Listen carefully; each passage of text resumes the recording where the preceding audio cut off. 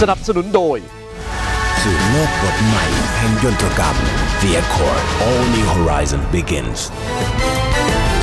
สวัสดีครับท่านผู้ชมครับ ต้อนรับเข้าสู่รายการ B Times กับผมบัญชาชุมชัยเวทนะครับที่ช่อง 13 จันทร์ถึงศุกร์เที่ยง 45 ถึงบ่ายโมงเนี่ยนะครับเราจะเจอกันเป็นประจำนะครับว่า 15 นาทีกับความคิดในการที่ทำยังไงธุรกิจของคนไทย ไม่ว่าจะเป็นองค์กรขนาดใหญ่ก็ดีนะครับหรืออาจจะเป็นจากต่างประเทศก็ได้ นักบริหารมืออาชีพก็ดีครับ หรือจะเป็นเจ้าเข้าเจ้าของธุรกิจ SME แม้แต่คนรุ่นใหม่ ๆ ที่ก็ใช้เทคโนโลยีมาบริหารสร้างแพลตฟอร์มต่างๆที่เรียกกันว่าสตาร์ทอัพก็ตามเนี่ยนะครับเขาจะทำธุรกิจของเขาเนี่ยได้ไปอย่างยั่งยืนในอนาคตมากน้อยแค่ไหนอย่างไรคำถามนี้เกิดขึ้นทุกครั้งนะครับ ไม่ว่าจะเป็นรายเก่ารายใหม่ก็ตาม เพราะว่าอยู่ในยุคแห่งความเป็นดิจิทัลที่เปลี่ยนพฤติกรรมของทั้งคนซื้อคนทำธุรกิจเนี่ยตลอดเวลาเลยนะครับ ส่วนใหญ่ชมแล้วกลับไปดูได้ครับ ย้อนหลังทุกตอนทุกช่องทางของเรา โดยเฉพาะในสื่อโซเชียลมีเดียของเรานะครับ Line add Facebook หรือ YouTube พิมพ์คำว่า B Times เท่านั้นเองนะครับ นอกจากนี้ก็มีเว็บไซต์ของเราที่รวมทุกรายการอยู่เหมือนกัน ก็คือ www.mrbun.com นะครับท่านผู้ชมครับ หลายครั้งที่เราพูดถึงเรื่องของ หรีดนะครับอย่างเช่น พวงหรีดอะไรต่างๆ กับงาน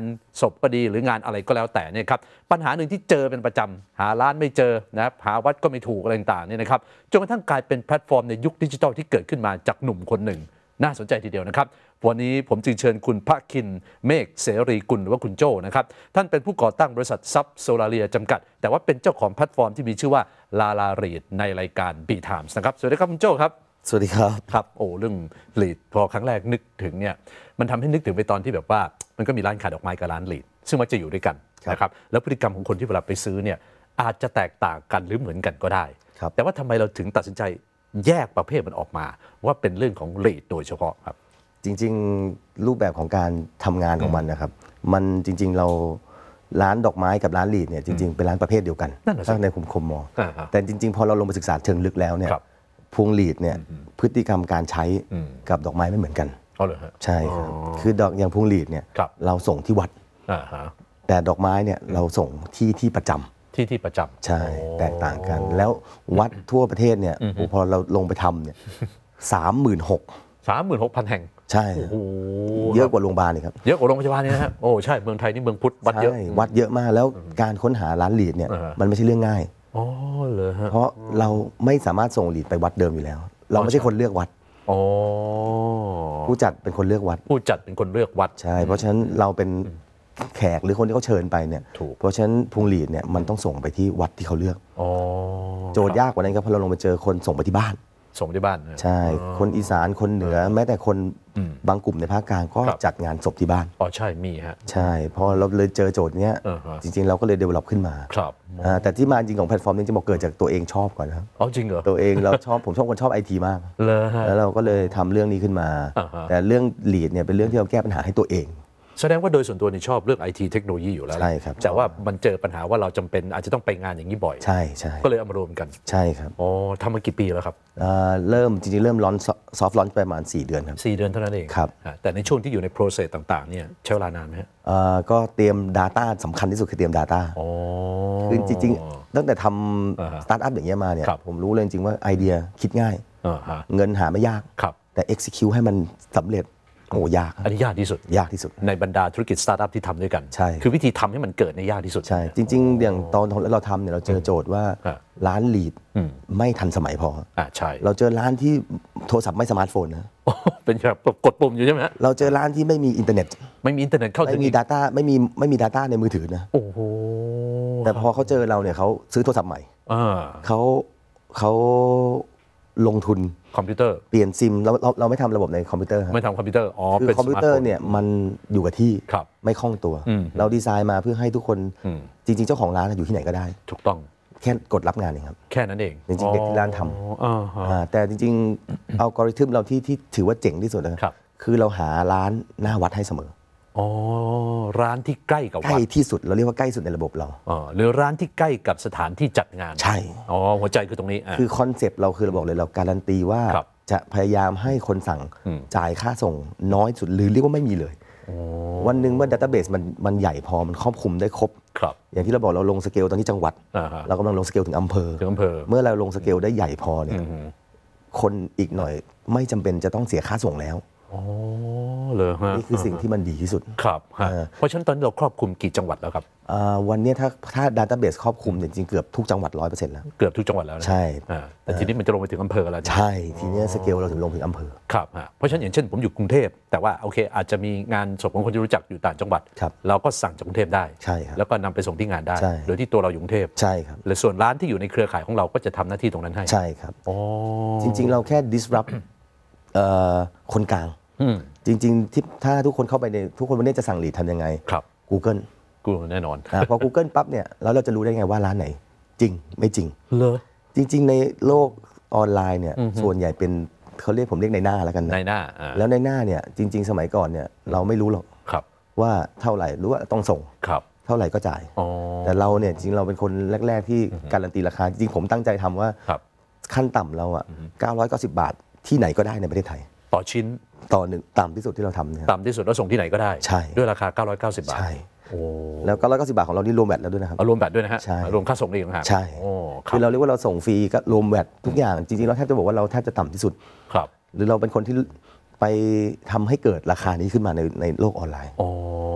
ที่ผ่านมาถ้าคนเคยใช้เนี่ยจะสั่งเกินพันทั้งนั้นเหรอฮะ อ่าเราเป็นคนแรกที่ฮะ ต่อให้เปรียบเทียบวันเนี้ยเราก็ยังเห็นว่าบางคนก็ยังทำไม่รวมแวตเพราะเนเจอร์ธุรกิจของพงหลีดเนี่ยครับไม่มีใครมีแวตอ๋อใช่ เพราะมันเป็นธุรกิจที่เรียกว่าเล็กกว่า SME อีกใช่คือมันเป็นแบบห้องแถวจริง ๆ เลยใช่ครับอ๋อจริง ๆ ชาวบ้านบางคนเนี่ยเล็กมากถูกอ่าแต่พอเรามาเนี่ยแต่สิ่งที่เราพอมาทำเนี่ยเราครับเป็นเหมือนหน้ากากให้ร้านอ๋อเรา provide แวตให้ทุกคนได้ครับเราเปลี่ยนวิธีการทำงานของเขาอ่าฮะเราจริงๆเรายกระดับ ร้านเนี่ยขึ้นสู่ 4.0 จริงอืมๆวันเนี้ยที่บอกว่าไทยแลนด์ 4.0 4.0 เนี่ยมันมันไม่ถึงเวลาเลยังไม่ถึงเวลา แต่พอเรามาเรามาเนี่ยเราบอกทุกคนขึ้นนะและร้านส่วนใหญ่ก็จะตื่นตัวกับเราครับฮะแต่จริงๆก็ถือว่าโจทย์ยากของเราเนี่ยคือการเปลี่ยนพฤติกรรม นั่นน่ะสิเพราะว่าพฤติกรรมคือโอเคคือหรีดเนี่ยเอาละ คือเรารู้ว่ามันเป็นงานเฉพาะทางครับเพราะฉะนั้นรายละเอียดเราอาจจะไม่ใส่มากเหมือนกับเราที่เราเลือกดอกไม้ครับใช่ไหมฮะใช่ตรงนี้คือความแตกต่าง ใช่ แต่ทีเนี้ยสิ่งที่ Lalareed ทำให้คนเข้ามาใช้เนี่ยคือเราสร้าง standard ขึ้นมาครับ คือ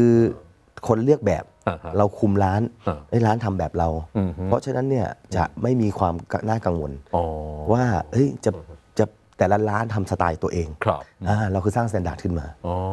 แล้วสิ่งสำคัญเนี่ยที่ เราทำเราเราทอเราลงไปทำเราเจอปัญหา ในวงการเนี่ยผมเรียกมันว่าหรีดวนหรีดวน คือร้านครับแอบเอาหรีดเก่ามาใช้โอ้เหมือนรีไซเคิลอะใช่เหมือนใช้ซ้ำอะแต่คำว่ารีไซเคิลเขาเนี่ยมันคือผู้จ่ายตังค์จ่ายเต็ม จ่ายเต็ม ไม่ได้รีไซเคิลแบบในมุมเชิงนั้นคือเอามาวนใช้ เอามาวนใช้ แล้วเป็นดอกไม้สดนะครับที่วนโอ้โหใช่อือฮึครับพอเราพอเราเอา standard เราลงไปเนี่ยลูกค้าเลือกแบบจากเราอ่าฮะร้านก็ไม่มีสิทธิ์ ที่จะเอาเอามาวนวนอีกทีใช่อ๋อก็แก้ปัญหานี้ได้ ใช่ครับอ่าทีเนี้ยหลายหลายหลายๆผู้ผู้สั่งครับอาจจะยังไม่รู้บางคนมาคุยกับเราบอกเอ๊ะขอรูป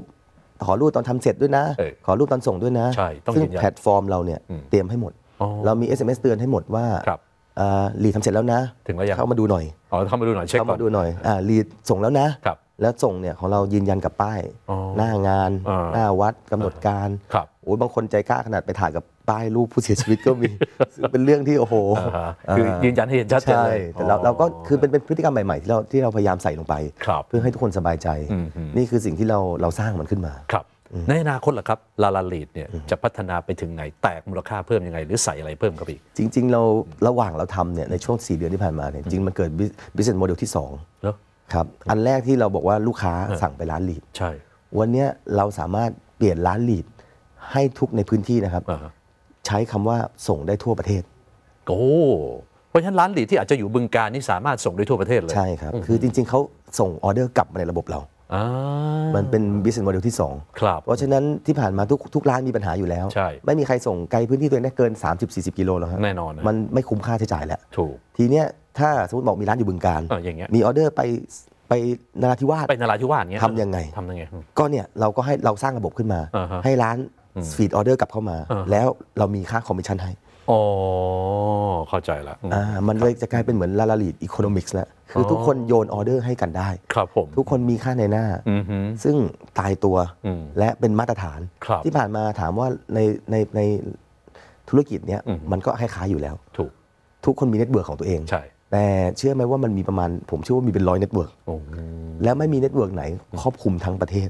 ได้เท่าอย่างที่เรากำลังสร้างอยู่ใช่อ๋อเพราะฉะนั้นคนที่เข้ามาร่วมกับเราเนี่ยจะกลายเป็นการยกระดับครับไปสู่ดิจิทัลแพลตฟอร์มครับไปสู่สามารถประกาศในจังหวัดในพื้นที่ตัวเองได้ว่าเฮ้ยเราทั่วประเทศนะ ส่งได้ทั่วไทย ใช่อืมครับ โอ้โหท่านผู้ชมครับนี่แหละครับทำไมเราถึงคิดว่าความเป็นเทคโนโลยีที่เข้ามาถึงทุกวันเนี่ยนี่คือสิ่งที่โมเดลเราคุยกันแทบนึกไปถึงเลยนะครับ ว่าร้านที่ทำหรีดอาจจะอยู่ที่ไหนก็แล้ว แต่วันนี้ก็สามารถส่งได้ทั่วไทยข้ามภาคซะด้วยซ้ำไป แม้ว่าก่อนหน้านี้ในความเป็นจริง พฤติกรรมนี้ไม่สามารถเกิดขึ้นได้เลย ในยุคที่เทคโนโลยีเข้าไม่ถึง และสมาร์ทโฟนก็ไม่ได้ติดไม้ติดมือทุกเรา เหมือนอย่างทุกวันนี้ที่เกิดขึ้นกันนะครับเอาละครับวันนี้ก็ต้องขอขอบพระคุณคุณพระคินเมฆเสรีกุลนะครับท่านเป็นผู้ก่อตั้งบริษัทซับโซลาเรียจำกัด เจ้าของแพลตฟอร์ม ชื่อดังที่มีชื่อว่าลาลาลีดนะครับหรือว่าคุณโจนั่นเองนะครับขอบคุณครับโจครับขอบคุณครับครับเอาละครับเดี๋ยวเราพักสักครู่แล้วกลับมารายการ B Times ต่อช่วงหน้าครับ